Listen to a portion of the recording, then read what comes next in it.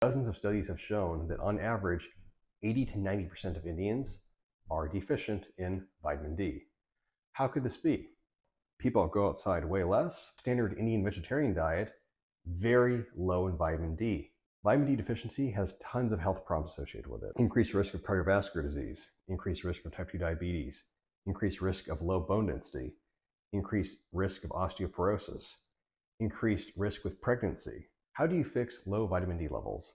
Number one, you need to go outside more. Number two, diet. If you are non veg, eat more fatty fish, eat animal liver, eat eggs, cheese, dairy. If you are vegetarian, consider supplementing.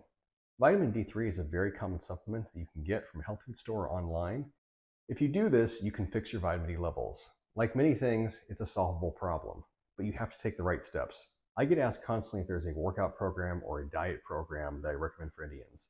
There is. It's called South Asian Strong. It is the best program I have found on the internet for Indians. Sign up for that program.